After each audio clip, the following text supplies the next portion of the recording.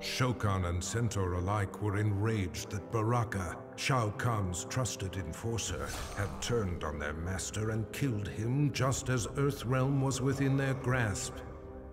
But their anger turned to admiration as the lifeless body of Shao Kahn transformed into that of the treacherous sorcerer Shang Tsung.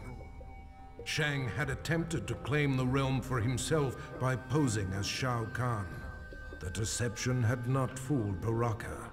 He had recognized Shang Tsung's scent and torn out his throat. With Earthrealm finally in Shao Kahn's control, Baraka's loyalty and bold action were rewarded.